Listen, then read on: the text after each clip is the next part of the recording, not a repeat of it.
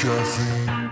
Small talk, wait up the plastic weather. Mm-hmm. Uh huh, discussing current influence. I'll take.